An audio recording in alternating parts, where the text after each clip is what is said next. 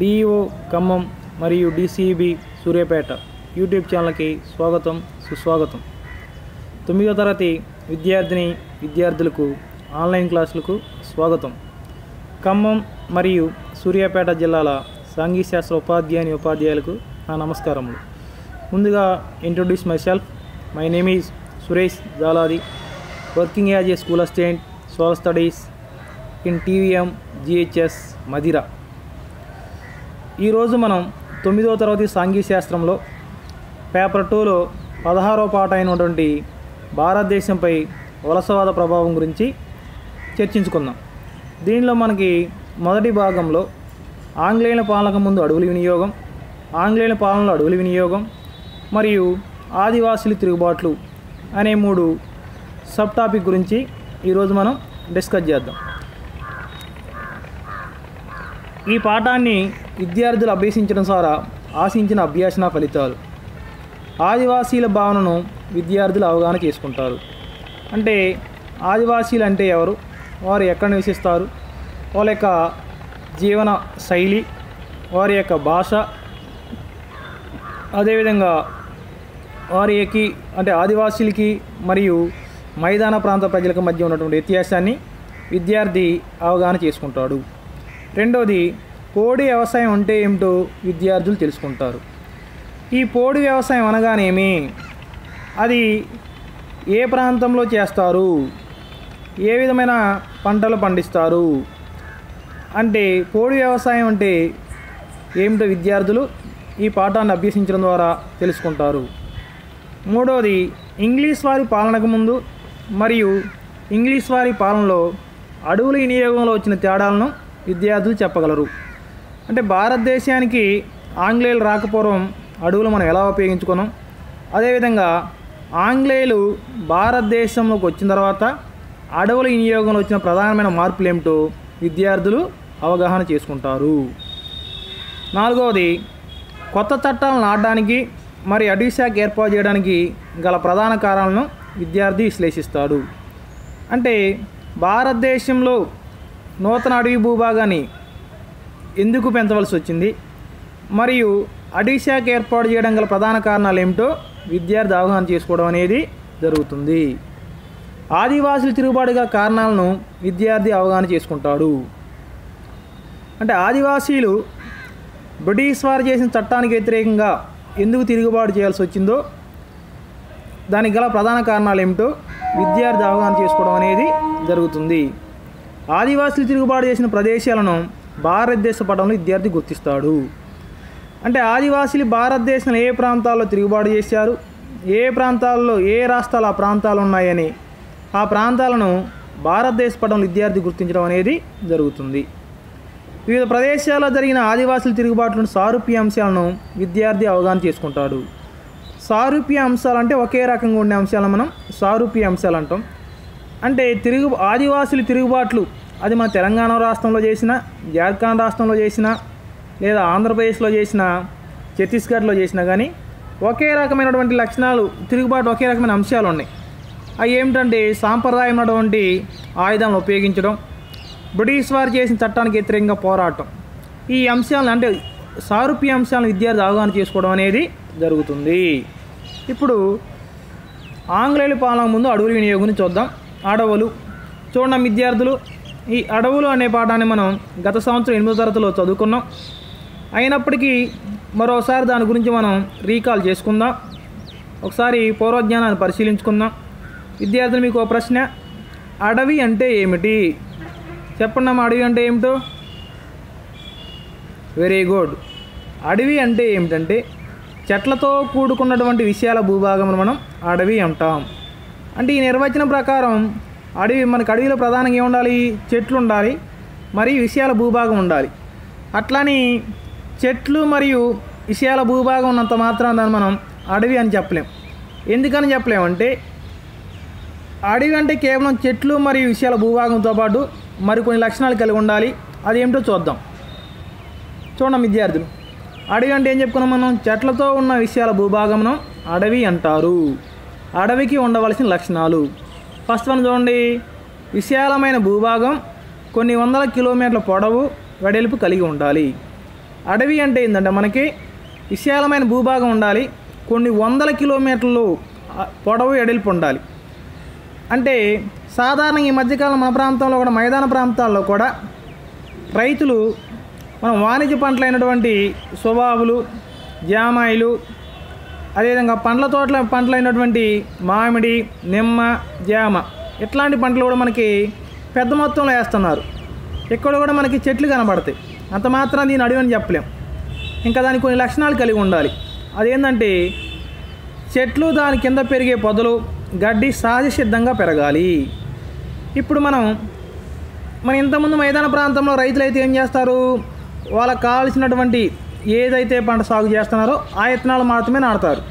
కానీ ఇక్కడ అడవి అంటే ఏంటంటే చెట్లు చెట్లతో పాటు చెట్లతో పాటు పొదలు గడ్డి సహజ సిద్ధంగా వాటంతటే అవే పెరగాలి. అంటే ఈ యొక్క చెట్లు అడవులు చెట్లు గడ్డి పొదలు పెరగడానికి మానవ ప్రమేయం లేకుండా ఉండాలి. అంటే మన ప్రమేయం ఏమాత్రం లేకుండా అడవులు పెరిగినట్లయితే దాన్ని మనం అడవిగా చెప్పుకోవచ్చు. చెట్లు పెరిగి దాన్ని అడవిగా చెప్పుకోవచ్చును. మూడవది జీవ వైవిధ్యత కలిగి ఉండాలి. అంటే జీవ వైవిధ్యత అంటే ఏమిటో మనం చూద్దాం. ఈ జీవ వైవిధ్యతను మనం ఇంగ్లీష్లో బయోడైవర్సిటీ అంటాం. బయోడైవర్సిటీ అంటే అడవి ప్రాంతంలో వివిధ జీవరాశులు కలిగి ఉండటం. అంటే జంతుపరంగా చూసినట్లయితే చిన్న జంతువుల నుంచి పెద్ద జంతువుల వరకు ఉండటం. అదేవిధంగా వివిధ రకాలైనటువంటి వృక్షాలు కలిగి ఉండటం. ఓకేనమ్మా? నాలుగోది లాస్ట్. అడవిలో గిరిజనులు నివసిస్తూ వాటిని కాపాడాలి. ప్రాచీన కాలం నుండి అడవి ప్రాంతాల్లో మనకి వివిధ రకాలైనటువంటి గిరిజన జాతులు నివసిస్తున్నారు. వాళ్ళు జీవన విధానానికి అడవుల మీదనే ఆధారపడి ఉన్నారు. అయినప్పటికీ వాడు అడవులను నాశనం చేయకుండా సంరక్షిస్తూ తమ జీవనాన్ని కొనసాగిస్తున్నారు. నేటికి కూడా గిరిజనులు అడవి ప్రాంతాల్లో నివసించడం అనేది జరుగుతుంది. ఈ నాలుగు లక్షణాలు కలిగి ఉన్నట్లయితే మనం దాన్ని అడవిగా చెప్పుకోవచ్చును. ఓకేనా విద్యార్థులు? ఇప్పుడు మనం ఆదివాసీలు. ఈ ఆదివాసీలు అంటే ఎవరు? వాళ్ళకి అరణ్యానికి అంటే అడవులకు ఉన్నటువంటి సంబంధం ఏందో చూద్దాం. చూడమ్మా. గిరి మరియు అడవి ప్రాంతాల్లో నివసించే ప్రదేశం నివసించే ప్రజలను మనం ఏమంటామంటే ఆదివాసీలు అంటాం. అంటే గిరి అంటే పర్వత ప్రాంతాలు మరి కొండ ప్రాంతాలు అడవి ప్రాంతాల్లో నివసించే ప్రజల్నే అంటే కొండ జాతిని మనం ఆదివాసీలు అంటారు. ఈ ఆదివాసుల యొక్క జీవన విధానం కానివ్వండి వాళ్ళ ఆచార సాంప్రదాయాలు మనకు భిన్నంగా ఉంటాయి. మీరు ఆరో తరగతిలో నేర్చుకున్నారు. ఆరో తరగతిలో మనం కొండ జాతుల గురించి చెప్పుకున్నాం మనం. వీళ్ళు ఈ రెడ్లకి అంటే కొండ రెడ్లకి మనకి జీవన విధానంగా పూర్తిగా విభిన్నతకు విభిన్నతో కూడుకొని ఉంటుంది. అంటే ఆదివాసీలు ప్రధానంగా ఎక్కడ నివసిస్తారంటే అడవి ప్రాంతాల్లో నివసిస్తారు. తమ జీవనానికి అవసరమైనటువంటి అన్ని పదార్థాలు దాదాపుగా అడవి నుంచే సేకరించుకుంటారు. అంటే తినడానికి అవసరమైనటువంటి వివిధ రకాల పండ్లు మరియు మరియు వంట చేసుకోవడానికి అవసరమైనటువంటి వంట చెరుకు అనారోగ్యం కనుక అనారోగ్య అనారోగ్యానికి గురైనప్పుడు వాళ్ళు అడవి ప్రాంతంలోని రకాలటువంటి వృక్ష జాతుల నుంచి వనమూలిక సేకరించి అంటే ఔషధాలుగా ఉపయోగించుకోవడం అనేది కూడా జరిగింది. కాబట్టి ఆదివాసీలు తమ జీవనానికి కావాల్సినటువంటి అన్ని రకాల వస్తువులు ఎక్కడి నుంచి సేకరించుకున్నారంటే అడవి ప్రాంతం నుంచి సేకరించుకున్నారు. అంతేకాకుండా బ్రిటిష్ వారు భారతదేశానికి రాకపూర్వం ఆదివాసీలు అడవిని తమ సొంత భూమిగా భావించేవారు అంటే అడవికి తమ యజమానులుగా భావించేవారు. కాబట్టి వాళ్ళు అడవిని సంరక్షించుకుంటూ అడవిలో తమకు కావాల్సినటువంటి అవసరాలు అవసరానికి కావాల్సినటువంటి వస్తువులు సేకరించుకుంటూ జీవనాన్ని కొనసాగించడం అనేది జరిగింది.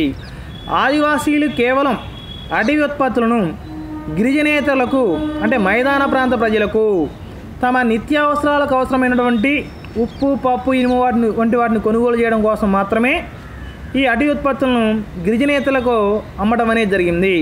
అంతే తప్ప ఏ విధమైన లాభాపేక్షతో వాళ్ళు అటవీ ఉత్పత్తులను గిరిజనేతలకి అమ్మలేదు. కాబట్టి ఆదివాసీలు అడవును సంరక్షించుకుంటూ తమ జీవన విధానాన్ని కొనసాగించారు.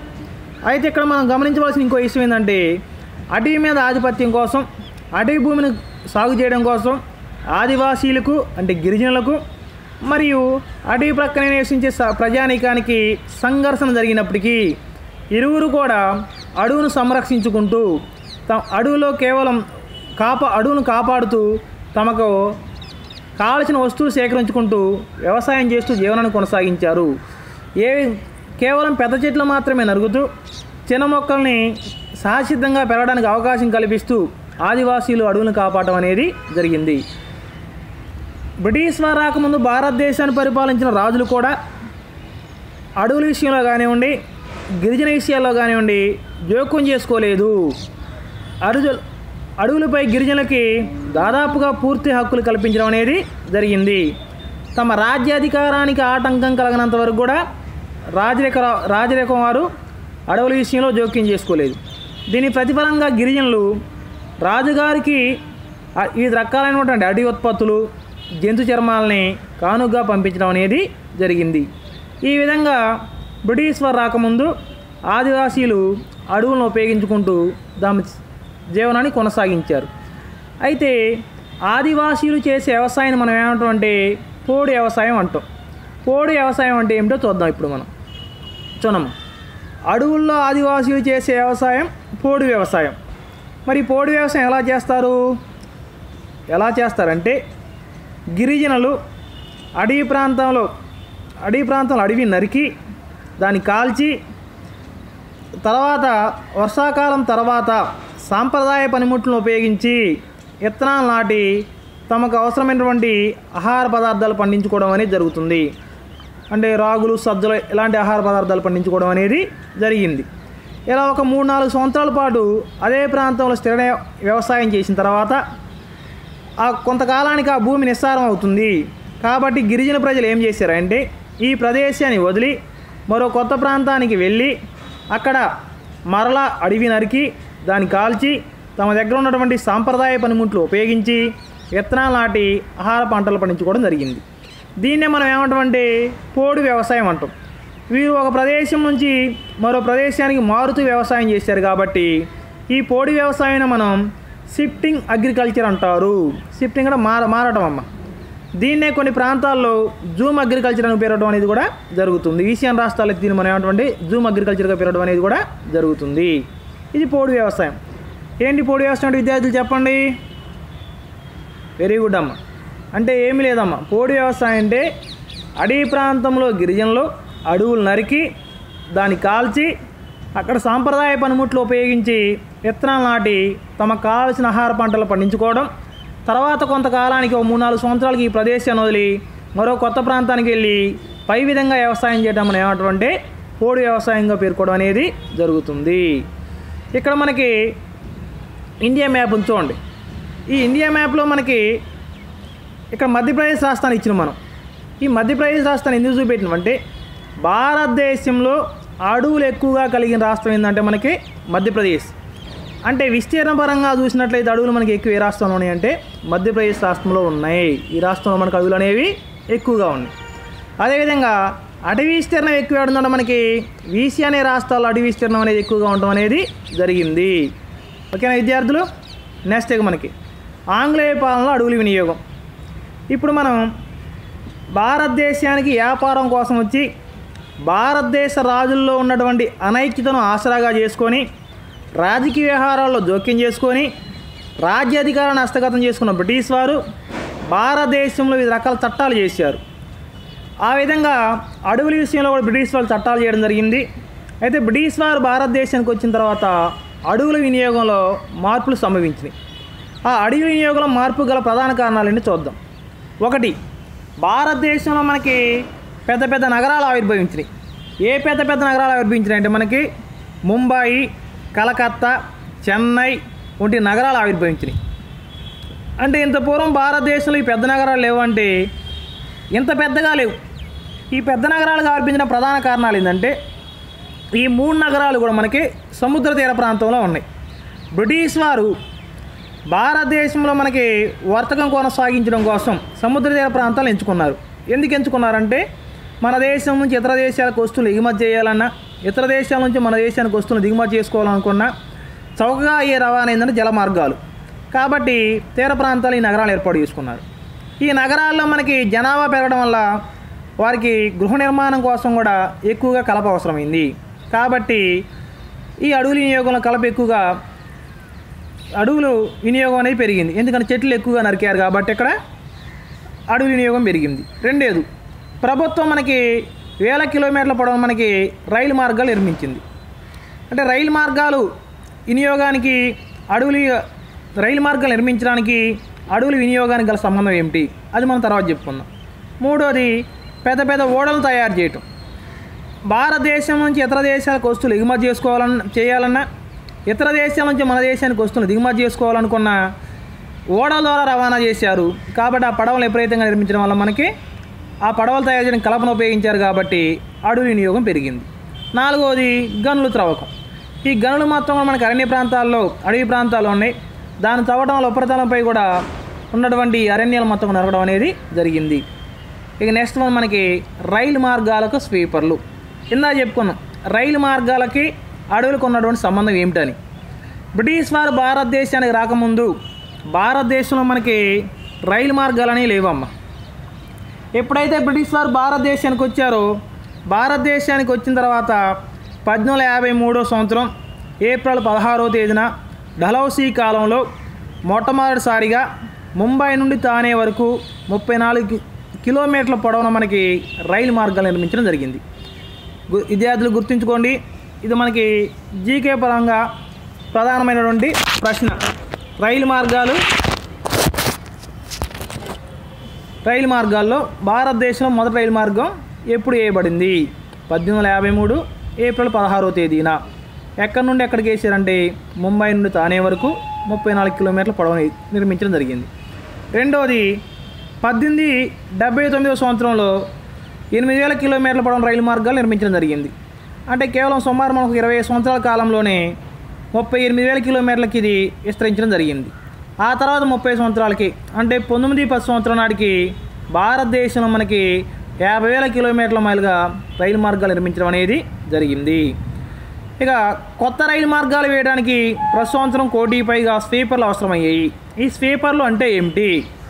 విద్యార్థులు చెప్పండి ఎవరన్నా? విన్నారు ఈ స్వీపర్లు అనేది? Very good. స్వీపర్లు అంటే ఏమిటంటే మీరందరూ రైలు పట్టాలు చూసే ఉంటారు. రైలు పట్టాలు రెండు కూడా మనకి ఎలా ఉంటాయి? సమాంతరంగా ఉంటాయి. ఈ సమాంతరంగా ఉన్నటువంటి రైలు పట్టాల కింద మనకి ఒక మీటర్ మీటర్ గ్యాప్లో కింద ఏముంటాయి అంటే పెద్ద పెద్ద అంటే ఈ సైజులో మనకి ఏముంటాయి అంటే ఈ కలపతో చేసినటువంటి ముద్దులు కానివ్వండి లేదంటే ఈ మధ్యకాలంలో మనం సిమెంట్ ఉపయోగిస్తున్నాం. అంటే రైలు పట్టాల కింద గట్టిగా ఉండటం కోసం వేసినటువంటి వాటిని ఏమంటాం మనం? స్వీపర్లు అంటారు. కాదు చూడమ్మా స్వీపర్లు అంటే ఏంటో? రైలు పట్టాలు కదలకుండా ఉండేలా వాటికి అడ్డంగా ఉండే కలప కడ్డీలని మనం ఏమంటాం అంటే స్వీపర్లు అంటాం. ఈ స్వీపర్లు ఎలా ఉంటాయి? ఇమేజ్లో చూడండి. రైట్.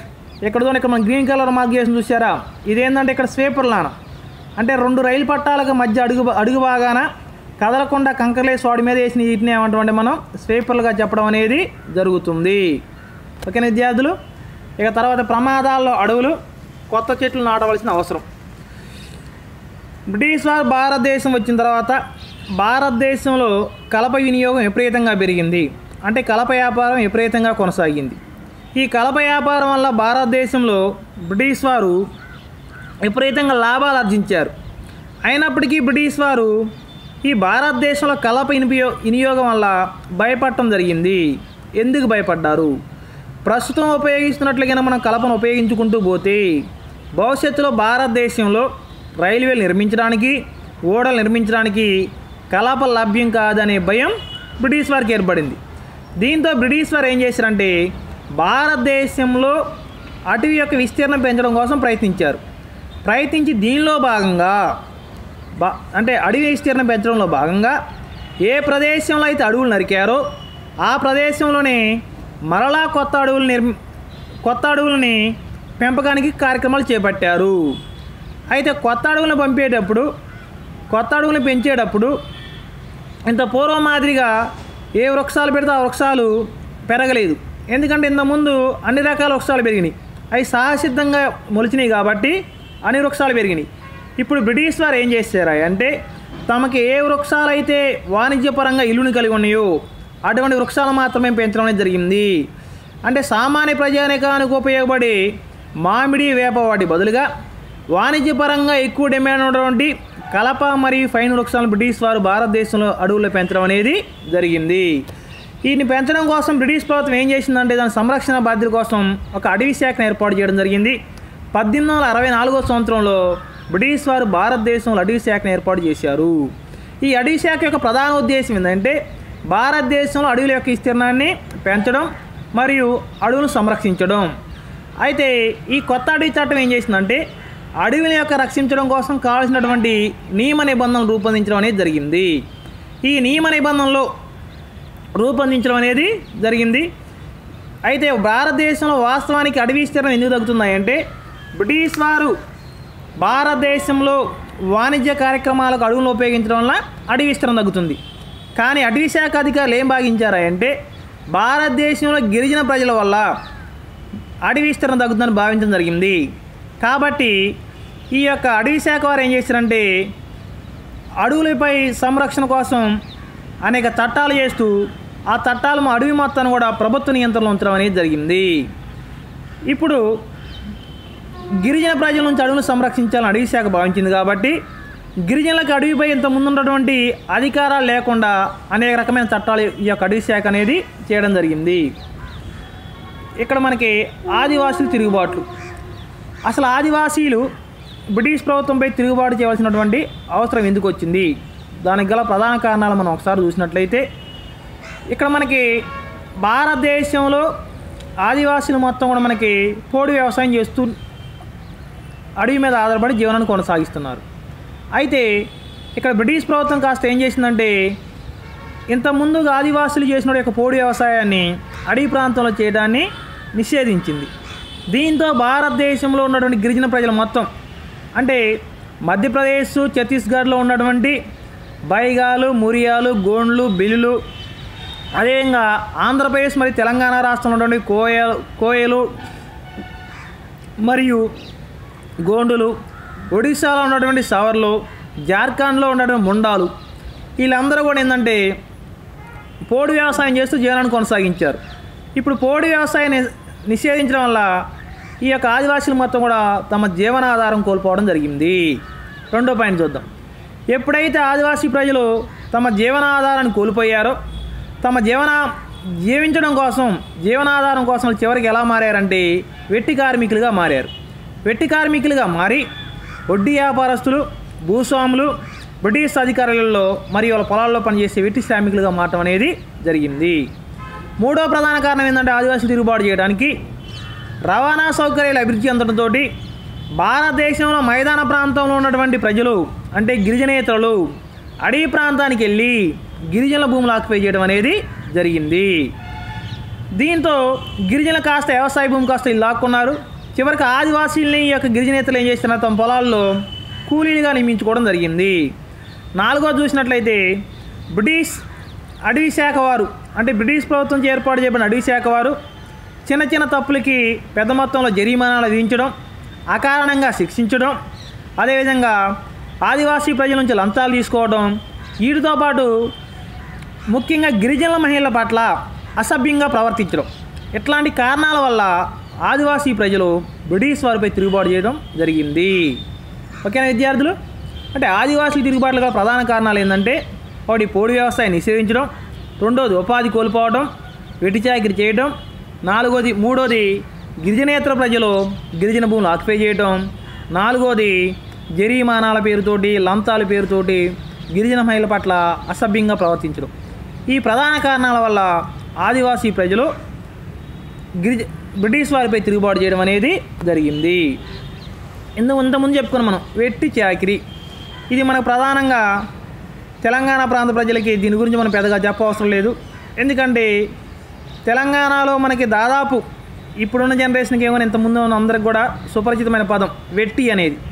ఏందంటే ఈ వెట్టి అనేది? ఎటువంటి ప్రతిఫలం లేకుండా ప్రజలు భూస్వాముల ఇళ్ళలోనూ భూస్వాములు జమీందారులు అదే బ్రిటిష్ వ్యాపారస్తుల విల్లల్లో పొలాల్లో పనిచేయడం అనేటువంటి మనం వెట్టి అంటాం. అంటే ఎటువంటి ప్రతిఫలం ఇవ్వకుండా భూస్వాములు జమీందారులు తమ పొలాల్లో విల్లల్లో ప్రజలతో పని చేయించుకోవడానికి మనం ఏమని చెబుతుంటే ఇక్కడ వెట్టిగా పేర్కోవడం అనేది జరుగుతుంది. ఇక నెక్స్ట్ మనకి ఆదివాసీలు తిరుగుబాట్లు. ఒకసారి ఈ పట్టిక గమనించండి ఈ పట్టిక మనం చూసినట్లయితే ఈ పట్టికలో మనం తిరుగుబాటు చేసిన సంవత్సరం జరిగిన రాష్ట్రం తిరుగుబాటు చేసిన వారు. ఇక్కడ మనం పద్దెనిమిది వందల యాభై ఆరో సంవత్సరంలో జార్ఖండ్ ఈ జార్ఖండ్ రాష్ట్రంలో సంతాల ప్రజలు బ్రిటిష్ వారికి వ్యతిరేకంగా తిరుగుబాటు చేయడం అనేది జరిగింది. సెకండ్ వన్ మనకి పద్దెనిమిది డెబ్బై నాలుగు టు పంతొమ్మిది వందల ఒకటో సంవత్సరం. ఈ తిరుగుబాటు కూడా మన జార్ఖండ్ రాష్ట్రంలో జరిగింది. తిరుగుబాటు చేసిన వారు ముండా జాతీయులు. మూడోది పద్దెనిమిది వందల ఎనభై మరి పంతొమ్మిది ఇరవై రెండు. ఈ రెండు తిరుగుబాట్లు మనకి తెలంగాణ మరియు ఆంధ్రప్రదేశ్ రాష్ట్రాల్లో జరిగినాయి. తిరుగుబాటు చేసిన వారు ఏమంటే గోండు మరియు కోయ ప్రజలు. పంతొమ్మిది వందల పదవ సంవత్సరంలో మనకి భద్రాద్రి కొత్తగూడెం జిల్లా బోర్డర్గా ఉన్నటువంటి బస్తర్ జిల్లా ఇది ఎక్కడుందో ప్రజలు మనకి ఛత్తీస్గఢ్ రాష్ట్రంలో ఉంది. ఆ ప్రాంతంలో మనకి మరియా మరియు మురియా జాతి ప్రజలు బ్రిటిష్ వారికి వ్యతిరేకంగా తిరుగుబాటు చేశారు. తర్వాత పంతొమ్మిది ఇరవై ఇరవై ఏడవ సంవత్సరంలో కుమావు ప్రాంతంలో అంటే ఇది ఉత్తరాఖండ్లో ఉందమ్మా అక్కడ ఉన్నటువంటి రైతులు బ్రిటిష్ వారికి వ్యతిరేకంగా సహాయ నిరాకరణ చేయడం అనేది జరిగింది. ఇది మనకి భారతదేశంలో ఆదివాసీలు చేసినటువంటి తిరుగుబాట్లు జార్ఖండ్ రాష్ట్రంలో సంతాళ్ళు ముండాలు ఆంధ్రప్రదేశ్లో కోయలు మరి కోయ జాతి వారు మరి గోండు జాతి వారు అదేవిధంగా బస్తారు మరి అంటే ఛత్తీస్గఢ్లో మరియా మరియు మురియా జాతుల వారు మరి ఉత్తరాఖండ్లో మనకి రైతులు తిరుగుబాటు చేయడం జరిగింది. దీంట్లో మనం ముందుగా సంతాల్ తిరుగుబాటు గురించి చెప్పుకుందాం. ఈ సంతాల్ జాతి వారు పద్దెనిమిది వందల యాభై ఐదు యాభై ఆరు సంవత్సరంలో జార్ఖండ్లో పెద్ద ఎత్తున తిరుగుబాటు చేశారు. ఈ తిరుగుబాటు చేసి జమీందారులను వడ్డీ వ్యాపారులను చంపి దోసుకోసాగారు ఎవరై జమీందారులు వడ్డీ వ్యాపారస్తులు అంటే? బ్రిటిష్ వారికి తొత్తుగా ఉండి గిరిజన ప్రజలను హింసించేవారు ఎవరంటే జమీందారులు వడ్డీ వ్యాపారులు. వీరు బ్రిటిష్ వారికి అనుకూలంగా ఉండి వీరిపై అధిక పన్నులు విధించడం అడవి భూములు ఆక్యుపై చేయడం అడవిపై బ్రిటిష్ అడవిపై గిరిజనకు హక్కులు లేకుండా చేయడం అటువంటి దురాఘాతాలు చేయడం వల్ల పద్దెనిమిది వందల యాభై ఐదు యాభై ఆరు సంవత్సరంలో సంతాల ప్రజలు ఈ జమీందారులను మరియు వడ్డీ వ్యాపారులను చంపి వాళ్ళ దగ్గర ఉన్నటువంటి ఆస్తులను దోసుకోవడం జరిగింది. అంతేకాకుండా సంతాలు ఆంగ్లేయుల పాలన అంతమైందని సంతాలు స్వేచ్ఛారాజ్యం ఏర్పాటు చేసుకుందామని వాళ్ళంతకు వాళ్ళు ప్రకటించుకున్నారు. అయితే బ్రిటిష్ వారు కూడా ఏం చేసిన తిరుగుబాటుని అంతే వేగంతో అణచివేశారు. అంటే బ్రిటిష్ వారు తమ దగ్గర ఉన్నటువంటి అధునాతన ఆయుధాలను ఉపయోగించి తుపాకులు పెరంగుద పెరంగులను ఉపయోగించి ఈ యొక్క సంతాల తిరుగుబాటును అణచివేయడం జరిగింది. సంతాలు తిరుగుబాటులో విఫలం కావడం ప్రధాన కారణం ఏంటంటే బ్రిటిష్ వారి దగ్గర ఏమో అధునాతమైనటువంటి ఆయుధాలు ఉన్నాయి మన మన గిరిజన ప్రజల దగ్గర ఏమున్నాయి? ఇక్కడ మనకి కేవలం సాంప్రదాయ ఆయుధాలు. అంటే బాణాలు విల్లులు వాటిని చేత పట్టుకొని చేశారు. ఈ చేత చేత అంటే బాణాలు వీళ్ళు చేత పట్టుకొని గెరిల్లా పోరాటం చేసినప్పటికీ బ్రిటిష్ వారు తమ దగ్గర ఉన్నటువంటి అధునాతన ఆయుధాల ద్వారా తిరుగుబాటును అణచివేసి సుమారు మనకి పదిహేను వేల మంది సంతాలని హతమార్చడం అనేది జరిగింది. ఇక్కడ భారతదేశ పటం చూడమ్మా ఈ భారతదేశ పటం మనకి గ్రీన్ షేడ్లో ఉన్నటువంటి రాష్ట్రాలు మొత్తం కూడా గిరిజన తిరుగుబాట్లు అంటే బ్రిటిష్ వారికి వ్యతిరేకంగా ఆదివాసులు తిరుగుబాటు జరిగినటువంటి ప్రాంతాలు. దాంట్లో ఫస్ట్ మనం ఇక్కడ ఇది ఈ గ్రీన్ చూసినట్లయితే ఇది మనకి ఎక్కడుందంటే ఉత్తరాఖండ్. ఈ ఉత్తరాఖండ్ ప్రాంతం ఉత్తరాఖండ్ రాష్ట్రంలో మనకి కుమావు ప్రాంతంలో రైతులు తిరుగుబాటు చేశారు. ఈ గ్రీన్ చూసినట్లయితే ఇక్కడ మనకి ఈ జార్ఖండ్ నానా ఈ జార్ఖండ్ రాష్ట్రంలో మనకి ఇక్కడ సంతాళ్ళు మరియు ముండా ప్రజలు బ్రిటిష్ వారికి వ్యతిరేకంగా తిరుగుబాటు చేశారు. ఇది ఏంటంటే మనకి ఛత్తీస్గఢ్ అంటే మధ్యప్రదేశ్ నుంచి సపరేట్ అయి కొత్తగా ఏర్పడిన రాష్ట్రం ఛత్తీస్గఢ్.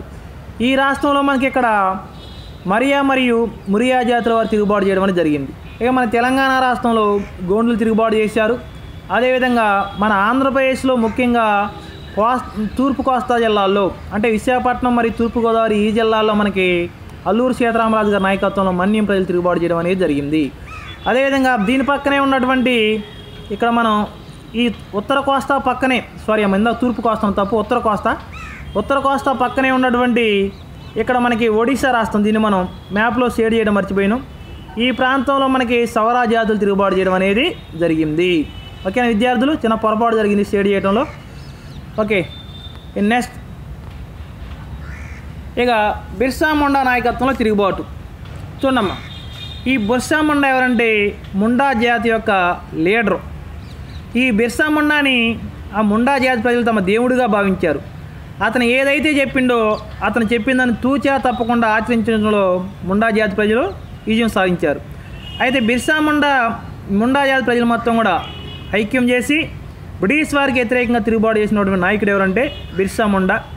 ఈ బిర్సా ముండా తిరుగుబాటు జార్ఖండ్ రాష్ట్రంలో చోటా నాగపూర్ పీఠభూమిలో పద్దెనిమిది వందల డెబ్బై నాలుగో సంవత్సరం నుంచి పంతొమ్మిది ఒకటి మధ్యకాలంలో తిరుగుబాటు చేశారు. ఈ చోటా నాగపూర్ ప్రాంతం ఈ చోటా నాగపూర్ పీఠభూమి గురించి మనం ఒక రెండు విషయాలు చెప్పుకోవచ్చు. జీకే పరంగా ఉపయోగపడతాయి. ఒకటి భారతదేశంలో విరివిరిగా అంటే ఎక్కువగా ఖనిజాలు లభ్యమయ్యే ప్రాంతం ఏంటంటే చోటా నాగపూర్ ప్రాంతం. ఇది ఏ రాష్ట్రంలో ఉందంటే మనకి జార్ఖండ్ రాష్ట్రంలో ఉంది. ఈ చోటా నాగ్పూర్ ప్రాంతాన్ని మనం జర్మనీలో ఉన్నటువంటి రూర్ ప్రాంతంతో పోల్చవచ్చు. ఎందుకు రూర్ ప్రాంత ప్రాంతంతో పోలుస్తాం ఇక్కడ మనం? అంటే జర్మనీలో రూర్ ప్రాంతం ఖనిజాలకు ప్రసిద్ధి అదేవిధంగా మన భారతదేశంలో చోటానగూరు ప్రాంతం అనేది ఖనిజాల ప్రసిద్ధి కాబట్టి దీన్ని మనం జర్మనీలో ఉన్నటువంటి రూర్ ప్రాంతంతో పోల్చడం అనేది జరుగుతుంది. ఓకేనా?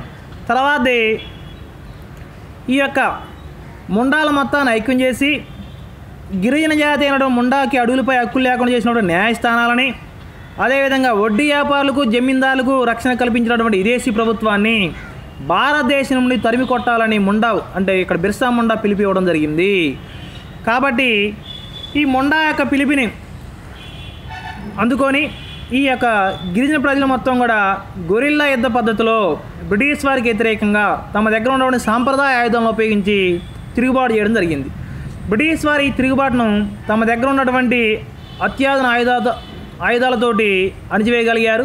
ముండా నాయకులందరినీ పట్టుకొని జైల్లో పెట్టగా పంతొమ్మిది వందల సంవత్సరంలో బిర్సా ముండా బ్రిటిష్ వారి యొక్క కారాగారంలో చనిపోవడం అనేది జరిగింది. ఇది బిర్సా ముండా గురించి. అతని ప్రజను ఏ విధంగా చైతన్యపరిచిందో ఒక ఫోటో చూద్దాం మనం. ఈత నుంచోని స్పీచ్ ఇచ్చే వ్యక్తి మనకి బిర్సా ముండా. ఓకేనమ్మా తర్వాత కుమావుత్ అడవి తిరుగుబాటు. ఈ కుమావు ఈ కుమావు ప్రాంతం ఎక్కడుందంటే మనకి ఉత్తరాఖండ్లో ఉంది. ఈ ఉత్తరాఖండ్లో ఉన్న కుమావు ప్రాంతంలో ఈ యొక్క అడవిపై హక్కులు లేకుండా చేసినటువంటి ఈ అడవి శాఖ వారికి సహాయ నిరాకరణ చేయాలని అక్కడ ప్రజలు నిర్ణయించుకోవడం జరిగింది. ఆల్రెడీ మనం ఎయిత్ క్లాస్లో చదువుకున్నాం. సహాయ నిరాకరణ. అంటే మన సహాయాన్ని నిరాకరించడం. ఇది భారతదేశ స్వాతంత్రోద్యమంలో ప్రధాన ఉద్యమంగా చెప్పుకుంటాం. అదే విధమైనటువంటి స్ఫూర్తిని ఇక్కడ ప్రజలు కూడా బ్రిటిష్ వారి అడవి శాఖకి సహాయ నిరాకరించి ఉద్యమం చేయడం జరిగింది. అంతేకాకుండా బ్రిటిష్ వారి యొక్క అడవి శాఖ వారు చేసిన యొక్క నియమ నిబంధనలను బహిరంగంగా ఉల్లంఘించారు. అంటే బ్రిటిష్ వారు ఆ రోజులు ఏం చేశారంటే గిరిజన ప్రజలను పొడి వ్యవసాయం చేయడం నిషేధించడం అదేవిధంగా అడవి ఉత్పత్తులను సేకరించడం నిషేధించడం ఇట్లాంటి అన్ని నియమ నిబంధనలు రూపొందించినప్పటికీ ఆ నియమ నిబంధనలు అందరినీ కూడా అన్నిటిని కూడా వీళ్ళు అతిక్రమించి తమ స్వేచ్ఛగా తమ బహిరంగంగా వాటిని ఉల్లంఘించి అడవిని ఉపయోగించుకోవడం జరిగింది. మూడవది బ్రిటిష్ ప్రభుత్వం ఎవరైతే గుత్తేదారులు ఉన్నారో ఆ గుత్తేదారులకి అడవులను అప్పగిస్తే ఆ అడవులు మొత్తం కూడా వీళ్ళు కాల్చి తమ యొక్క నిరసన తెలియజేయడం అనేది జరిగింది. వెట్టి చాకరీ చేయడాన్ని నిరాకరించారు. ఇంత ముందే చెప్పుకున్నాం మనం వెట్టి చాకరీ అంటే ఏంటి? వెట్టి చాకరీ అంటే సామాన్య ప్రజానికం భూస్వాములు జమీందారు దొరల్లో మరియు బ్రిటిష్ వారి యొక్క అధికారులలో ఎటువంటి ప్రతిఫలం లేకుండా పనిచేయడాన్ని మనం ఇక్కడ ఏం చెప్పుకున్నాం ఎట్టిగా చెప్పుకోవడం అనేది జరిగింది. ఇక మన తెలుగు రాష్ట్రాలకు వచ్చినట్లయితే మన తెలుగు రాష్ట్రంలో కూడా ఈ యొక్క గిరిజన ప్రజలు బ్రిటిష్ వారి యొక్క అటు విధానానికి వ్యతిరేకంగా తిరుగుబాటు చేయడం జరిగింది. దానిలో పక్కన మన తెలుగు రాష్ట్రం ఆంధ్రప్రదేశ్ గురించి చెప్పుకుందాం.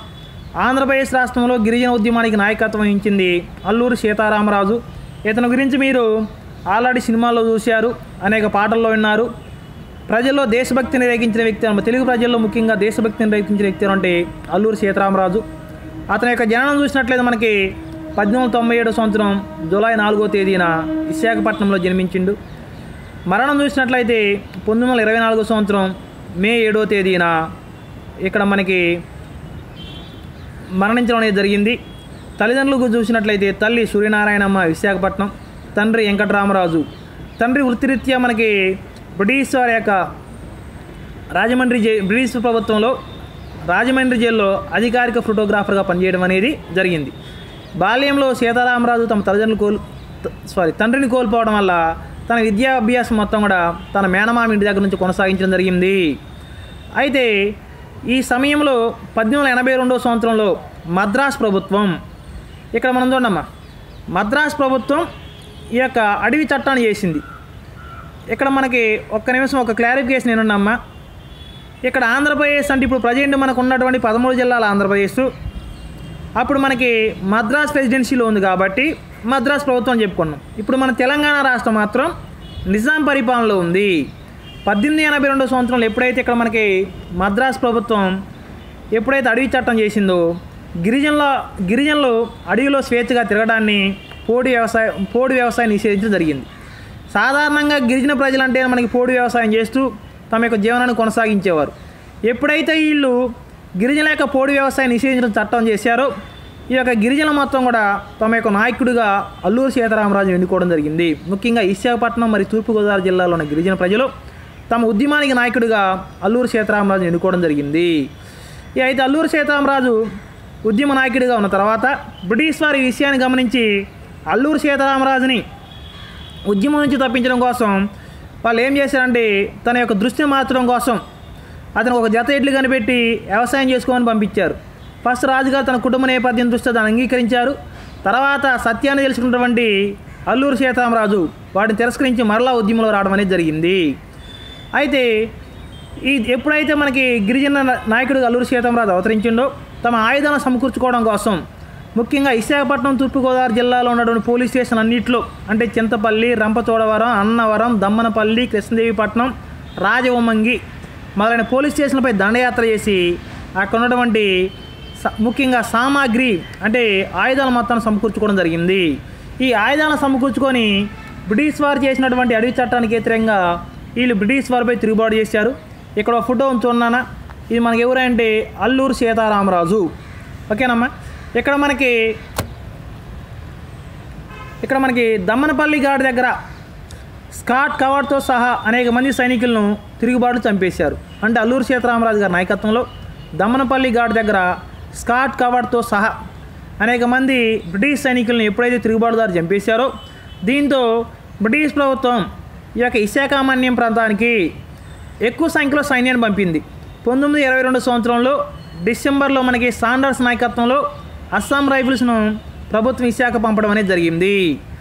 అయితే ఈ అస్సాం ప్రభుత్వం ఎప్పుడైతే ఇక్కడికి అస్సాం సాండ్రస్ నాయకత్వంలో సైన్యం ఇక్కడికి ఎప్పుడైతే వచ్చిందో ఆ సైన్యం వచ్చినప్పటికీ గిరిజన ప్రజలు అల్లూరు సీతారామరాజు నాయకత్వంలో తమ దగ్గర ఉన్నటువంటి సాంప్రదాయ పనిముట్లు ఉపయోగించి గెరిల్లా పోరాటం చేయడం అనేది జరిగింది. ముఖ్యంగా గిరిజన ప్రజల్ని నాయకులుగా ఏర్పాటు చేసుకొని దళాలుగా ఏర్పాటు చేసుకొని అంటే మల్లు ద్వారా గంటం ద్వారా వంటి గిరిజన ప్రజల్ని నాయకులుగా ఏర్పాటు చేసి ఈ యొక్క బ్రిటిష్ ప్రభుత్వానికి వ్యతిరేకంగా అల్లూరు సీతారామరాజు వాళ్ళతోటి గెరిల్లా యుద్ధాలు కొనసాగించడం జరిగింది. అయితే బ్రిటిష్ ప్రభుత్వం పంతొమ్మిది ఇరవై రెండులో ఇక్కడ డిసెంబర్లో సాండ్రాస్ నాయకత్వంలో వచ్చినటువంటి సైనికులు సుమారు ఒక సంవత్సర కాలం పాటు సుమారు ఒక సంవత్సరం కాలం పాటు సమయం తర్వాత తిరుగుబాటులో ఉన్నటువంటి నాయకులందరినీ చంపేసి తిరుగుబాటు నడచడం అనేది జరిగింది. పంతొమ్మిది ఇరవై నాలుగో సంవత్సరం డిసెంబర్ సారీ పంతొమ్మిది ఇరవై నాలుగు సంవత్సరం మే ఏడో తేదీన అల్లూరు సీతారామరాజు చింతపల్లి దగ్గర ఉన్నటువంటి మంపా గ్రామ సమీపంలో కొయ్యూరు వద్ద బ్రిటిష్ వారు జరిపిన కాల్పుల్లో మరణించడం అనేది జరిగింది. అయితే ఇక్కడ మనకి సీతారామరాజు గారు అప్పటికే తన అనుచరుల మొత్తాన్ని కోల్పోయిన తర్వాత బ్రిటిష్ ప్రభుత్వానికి లొంగిపోవడం కోసం రాయబారం పంపితే పలానా ప్రదేశంలో పలానా అంటే ఇక్కడ చింతపల్లి దగ్గర మంపా గ్రామంలో నేను లొంగిపోతాను రాయబారం పంపితే బ్రిటిష్ అధికారులు వచ్చి అతను కాల్ చంపడం అనేది జరిగిందమ్మ. ఓకేనా? ఇక ఆ తర్వాత మనకి తెలంగాణ ప్రాంతం. మన ప్రాంతంలో జరిగినటువంటి ఈ యొక్క గిరిజ ఆదివాసుల ఉద్యమానికి నాయకత్వం ఇచ్చింది ఎవరంటే కొమరం భీం ఇతను ఏంటంటే గోండు జాతి నాయకుడమ్మ. ఇక్కడ కొమరం భీం గురించి మనం చూసినట్లయితే పంతొమ్మిది వందల ఒకటో సంవత్సరం అక్టోబర్ ఇరవై రెండో తేదీన జన్మించాడు. అదేవిధంగా మరణం చూసినట్లయితే అక్టోబర్ ఇరవై ఏడు పంతొమ్మిది నలభై సంవత్సరం మరణించడం అనేది జరిగింది. ఈ కొమరం భీం విద్యార్థులు మీ కొమరం భీం అనగానే మీకు ఒక విషయం గుర్తు రావాలి. ఏంటో చెప్పండి అమ్మా? Very good Komaram Bheem district అమ్మ అంటే ఆసిఫాబాద్ కొమరం భీం జిల్లా. ఈ కొమరం భీం యొక్క పోరాటానికి గుర్తుగా మన తెలంగాణ రాష్ట్రం ఏర్పాటు చేసిన తర్వాత తెలంగాణ రాష్ట్రం ఏర్పాటైన తర్వాత కొమరం భీం జిల్లాను మనం ఏర్పాటు చేసుకోవడం అనేది జరిగింది. అంత పూర్వం ఇది మనకి ఆదిలాబాద్ జిల్లాలో ఉంది నాన్న. ఈ కొమరం భీం కొమరం భీం జిల్లాలో సంకేపల్లి గ్రామంలో జన్మించాడు. పదిహేను సంవత్సరాల వయసులో ఉన్నప్పుడే తన తండ్రిని నిజాం అడవి శాఖ దాడిలో నిజాం జరిపినటువంటి అడవి శాఖ దాడిలో తన తండ్రి మరణించాడు. ఆ తర్వాత కొమరం భీం తన కుటుంబ సమేతంగా ఈ యొక్క సంకేపల్లి గ్రామం నుంచి కెరిమరి మండలంలో ఉన్నటువంటి సర్దాపూర్ గ్రామానికి వలస రావడం జరిగింది. సర్దాపూర్ గ్రామానికి వలస వచ్చిన తర్వాత కొమరం భీం. తను పోడు వ్యవసాయం చేసుకుంటూ జీవనాన్ని కొనసాగించాడు. అయితే ఇదే సమయంలో నిజాంకి ఇన్ఫర్మర్గా ఉన్నటువంటి సిద్దికి కొమరం భీం యొక్క పోడు వ్యవసాయ భూమిని ఆక్ ఆక్రమించాడు. ఎప్పుడైతే కొమరం భీం యొక్క పోడు వ్యవసాయ భూమిని ఆక్రమించిండో దానితో కోపానికి లోనైనటువంటి కొమరం భీం ఆ సిద్దికిని చంపడం జరిగింది. దీంతో సిద్దికిని చంపినందుకు నిజాం ప్రభుత్వం అతన్ని బంధించి చెరసాలలో ఉంచింది. చెరసాలలో ఉన్నటువంటి కొమరం భీం తప్పించుకొని అస్సాం పారిపోయిండు. అస్సాం పారిపోయిన తర్వాత తమ యొక్క జీవనాన్ని కొనసాగించడం కోసం అక్కడ వివిధ రకాలైనటువంటి వృత్తులు చేసిండు. దాంట్లో ప్రధానంగా మనం అక్కడ అతను ఏం చేసిండంటే కాఫీ తోటల్లో కూడా ఒక రోజు దినసరి కూలిగా పనిచేయడం జరిగింది. అస్సాంలో ఉన్నప్పుడే అతను తను చదవడం రాయడం నేర్చుకోండు. తన మాతృభూమిలో అంటే ఈ యొక్క తెలంగాణ ప్రాంతంలో ఏం జరుగుతుందనే విషయాలు ఎప్పటికప్పుడు తన సోదరుడైనటువంటి కొమరం సూరి ద్వారా పత్రాల ద్వారా తెలుసుకుంటూ ఉండేవాడు. ఓకేనా విద్యార్థులు? ఇక్కడ మనం కొమరం భీం ఫోటో చూడండి. ఇది మనకి కొమరం భీం ఫోటో. ఈ కొమరం భీం మీకు మన టెక్స్ట్ బుక్ మీద లాస్ట్ పేజీ మీద కూడా కొమరం భీం ఫోటో ఇచ్చారు. మన టెక్స్ట్ బుక్ లెసన్లో కూడా సేమ్ ఇదే పిక్చర్ ఉంది నాన్న. ఇక నెక్స్ట్ వన్ మనకి ఈ కొమరం భీం అల్లూరు సీతారామరాజు మరియు బిర్సాముండ నాయకుల యొక్క స్ఫూర్తి ద్వారా అదే విధమైన ఉద్యమాన్ని తెలంగాణ ప్రాంతంలో కొనసాగించడానికి పునుకున్న వ్యక్తి ఎవరంటే కొమరం భీం. ఇదే సమయంలో నిజాం ప్రభుత్వం అడవి ప్రాంతంలో పశువులు మేపినందుకు మరియు అడవుల నుంచి పొలాలను సేకరించినందుకు బ్రిటిష్ ప్రభుత్వం సారీ నిజాం ప్రభుత్వం రెండు రకాలటువంటి పనులు విధించింది. అడవి ప్రాంతంలో పశువులు మేపినందుకు మనకి బంబ్రామ్ అని మరియు పొలాలను సేకరించినందుకు వంట చెరుకు కోసం పొలాలను సేకరించినందుకు దూపపెట్ట అనే పనులు విధించడం జరిగింది. దీంతో కొమరం భీం బ్రిటిష్ వారికి పన్నులు చెల్లించవద్దు సారీ నిజాం ప్రభుత్వానికి పన్నులు చెల్లించవద్దని అడవిపై తమకున్న హక్కుల గురించి తమ హక్కుల కోసం పోరాడమని అడవిపై గిరిజనులకు హక్కుల కోసం పోరాడమని ప్రజలకి పిలుపునివ్వడం జరిగింది. దీనిలో భాగంగా మనకి కొమరం భీం ఒక నినాదాన్ని ఒక ప్రముఖ స్లోగన్ ఇచ్చిండమ్మ ఒక నినాదాన్ని ఇచ్చిండు. ఆ నినాదం ఏంటంటే జల్ జంగిల్ జమీన్. జల్ అంటే నీరు. జంగిల్ అంటే అడవి జమీన్ అంటే భూమి అంటే గిరిజన ప్రజలు మొత్తం కూడా తమకు నీరు అడవి మరియు భూమి కోసం పోరాటం చేయమని కొమరం భీం పిలిపివ్వడం జరిగింది. ఈ కొమరం భీం ఇచ్చినటువంటి పిలుపుకి ఆదివాసీ ప్రజలు స్పందించి కొమరం భీంతో గిరిల్లా యుద్ధంలో పాల్గొనడం అనేది జరిగింది. అయితే ఈ కొమరం భీం తన యొక్క పోరాటాన్ని మొత్తాన్ని కూడా జోడేగాడిని కేంద్రంగా చేసుకొని తన గొరిల్లా పోరాటం కొనసాగించాడు. అయితే బ్రిటిష్ వారు ఆ జోడేఘాటు ప్రాంతం మీద మనకి ఆక్రమించి కాల్పులు జరపగా పంతొమ్మిది నలభై అక్టోబర్ ఇరవై ఏడో తేదీన ఒక పౌర్ణమి రోజు కొమరం భీం కాస్త బ్రిటిష్ వారి కాల్పులకు బలై మరణించడం అనేది జరిగింది. అయితే కొమరం భీం మరణించినప్పటికీ ఈ యొక్క ఆదివాసీ ప్రజలు ఎదుర్కొన్నటువంటి ఇబ్బందులు అదేవిధంగా తమ యొక్క జీవన పరిస్థితిని అధ్యయనం చేయడం కోసం బ్రిటిష్ ప్రభుత్వం మనకి హైమన్ డర్ఫ్ నాయకత్వంలో ఒక కమిషన్ నియమించడం అనేది జరిగింది. విద్యార్థులు ఇది మొత్తం కూడా మనకి భారతదేశంలో బ్రిటిష్ వారికి బ్రిటిష్ వారి యొక్క వ్యతిరేకంగా జరిగిన యొక్క తిరుగుబాట్లు బ్రిటిష్ వారి కాలంలో అడవుల వినియోగం తర్వాత బ్రిటిష్ వారు రాకముందు అడవుల వినియోగం ఆదివాసుల తిరుగుబాటుకు సంబంధించినటువంటి అంశాలు. ఇప్పటి వరకు మనం ఏం చెప్పుకున్నామో ఒకసారి చూద్దాం. చూడమ్మా పునశ్చరణలో భాగంగా మనకి ఆదివాసీలు ఆదివాసీలను ఎవరినంట మనం? ఎవరైతే గిరిజన ప్రాంతంలో మనకి నివసిస్తారో అంటే గిరి ప్రాంతాల్లో నివసిస్తూ కొండ జాతి అడవి ప్రాంతాల్లో గిరి ప్రాంతాల్లో నివసించాలని మనం ఏమంటాం ఇక్కడ కొండ జాతీయులు అంటాం. అంటే ఆదివాసీలు అంటాం. ఆదివాసీల యొక్క జీవన విధానం గురించి చెప్పుకున్నాం నెక్స్ట్ మనకి పోడు వ్యవసాయం. పోడు వ్యవసాయం అంటే ఏమిటి? పోడు వ్యవసాయం అంటే అడవి ప్రాంతాల్లో గిరిజనులు అడవిని నరికి కాల్చి తమ దగ్గర ఉన్నటువంటి సాంప్రదాయ పనిముట్లు ఉపయోగించి విత్తనాలు నాటి తమ కావాల్సిన ఆహార పంటలు పండించుకోవడం పోడు వ్యవసాయం. అక్కడ రెండు మూడు సంవత్సరాల తర్వాత ఆ భూమి నిస్సారమైన తర్వాత ఆ ప్రదేశాన్ని వదిలి మరలా కొత్త ప్రాంతానికి వెళ్ళి అక్కడ సేమ్ అంటే ఇంత పై విధంగా మనం చెప్పుకున్నట్లు వ్యవసాయం చేస్తూ వాళ్ళు తమకు కావాల్సినట్టు ఆహార పంటలు పండించుకుంటారు. ఆ తర్వాత ఈ మూడు సంవత్సరాలు దీన్ని ఖాళీగా ఉంచారు కాబట్టి ఇక్కడ మళ్ళీ అరణ్యం పెరిగిద్ది. మరలా తిరిగి వచ్చి ఇదే ప్రాంతాన్ని మళ్ళీ నరికి వ్యవసాయం చేసుకోవడం అనేది జరుగుతుంది. ఇది మనకి పోడు వ్యవసాయం. తర్వాత ఆదివాసులు తిరుగుబాట్లు ఆదివాసుల తిరుగుబాట్లు మనం చూసినట్లయితే ప్రధానంగా మనకి జార్ఖండ్ ఆంధ్రప్రదేశ్ తెలంగాణ ఛత్తీస్గఢ్ ఉత్తరాఖండ్ ప్రాంతంలో జరగడం అనేది జరిగింది. అల్లూరు సీతారామరాజు గారు ఇతను మనకి ఆంధ్ర ప్రాంతంలో ముఖ్యంగా తూర్పుగోదావరి మరియు విశాఖపట్నం జిల్లాలో ఆదివాసీల తరపున గిరిజనుల తరపున బ్రిటిష్ ప్రభుత్వానికి వ్యతిరేకంగా తిరుగుబాటు చేసిన వ్యక్తి అల్లూరు సీతారామరాజు గారు. కొమరం భీం మన తెలంగాణ రాష్ట్రంలో ఆదిలాబాద్ జిల్లాలో గిరిజన హక్కుల కోసం పోరాడి గిరిజన మొత్తాన్ని చైతన్యపరచడం కోసం జల్ జంగిల్ మరియు జమీన్ అనే నిదానాన్ని ఇచ్చిన వ్యక్తి కొమరం భీం ఇక విద్యార్థులు ఈరోజు మనం చెప్పుకున్నటువంటి అంశాలు దానికి సంబంధించి ఒక నాలుగు ప్రశ్నలు ఇచ్చినామమ్మ. వీటిని మీరు మీ సాంఘిక శాస్త్ర నోట్స్లో రాసి మీ యొక్క సాంఘిక శాస్త్ర ఉపాధ్యాయాన్ని చూపించి కరెక్షన్ చేయించుకోగలరు. ఆ ప్రశ్నలు నోట్ చేసుకోండి.